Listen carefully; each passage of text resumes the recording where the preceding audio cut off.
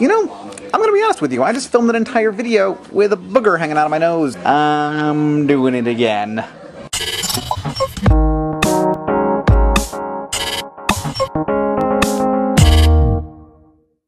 Sitting in Indianapolis, basking in the afterglow of a Nerdfighter event, watching election returns. It's too early to say anything, so I'm just not gonna say anything. What I am gonna say is that I hate election night. I would really like to be able to sleep right now. Watching an election is like watching a football game that you really care about. Except, one, it's not interesting. The score changes, but nothing happens. You never get to see Warrick Dunn do a backflip over the refrigerator. You never get to see the amazing visceral strength of well trained, well oiled young men patting each other in the behinds.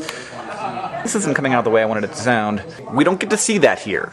We just get to be annoyed and scared. And two, the winner of the game doesn't have direct implications on the future of the entire world.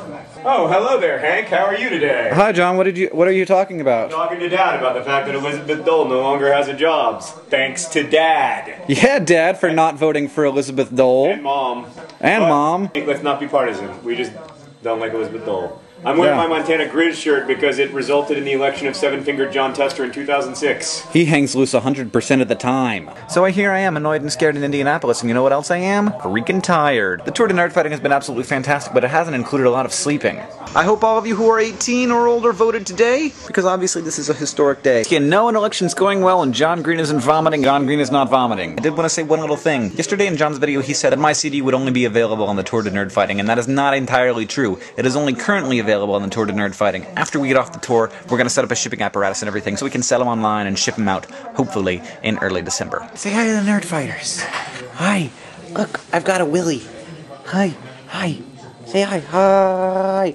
Oh, oh, oh, oh, oh, oh, oh. So much licking. I mean, we're not political here on the Vlogbrothers, right, Willy? But uh, some sometimes you just gotta show your true colors. I think I'm just gonna upload this. Maybe there will be a special update a little bit later so that we can come to you with any news that might be actually official.